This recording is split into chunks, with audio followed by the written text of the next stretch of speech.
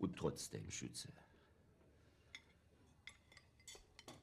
Selbst wenn ich geneigt bin, Ihnen jeden Wunsch zu erfüllen, muss ich mir doch zunächst mal im Kino der jungen Frau einen Film ansehen, bevor ich Ja oder Nein sagen kann.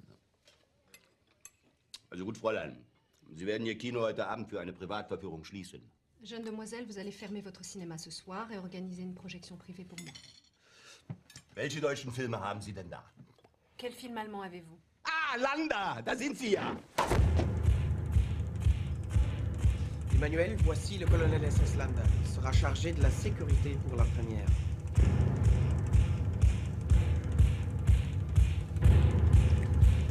Enchanté, mademoiselle.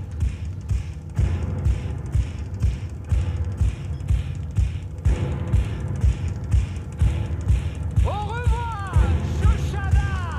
Und jetzt muss ich den Reichsminister zu seiner anderen Verabredung bringen. Sklaventreiberin, ne? Französische Sklaventreiberin. Wie auch immer.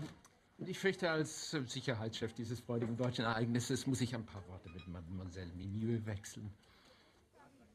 Was für Worte? Das hat ja verdächtig geklungen wie ein äh, Schütze, der den Befehl eines Standartenführers in Frage stellt. Oder bin ich da jetzt nur sensibel? Nichts läge mir ferner, Herr Standartenführer. Ihre Autorität steht außer Frage. Aber Ihnen eilt ein Ruf voraus. Müssen Mademoiselle Mimieux oder ich uns Sorgen machen? Hans, der Junge war jetzt nicht böse. Er hat sich vergafft in die Kleine. ne? Und er hat recht. Ihr Ruf eilt ihm voraus. Keine Sorge, ihr zwei. Als Sicherheitschef muss ich einfach mit der Besitzerin des möglichen neuen Veranstaltungsortes ein bisschen plaudern.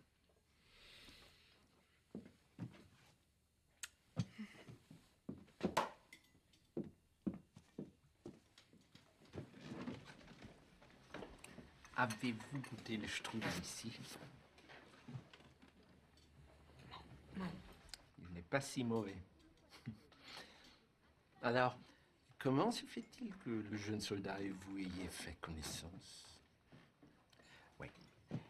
Deux strudels, un pour moi et un pour la demoiselle.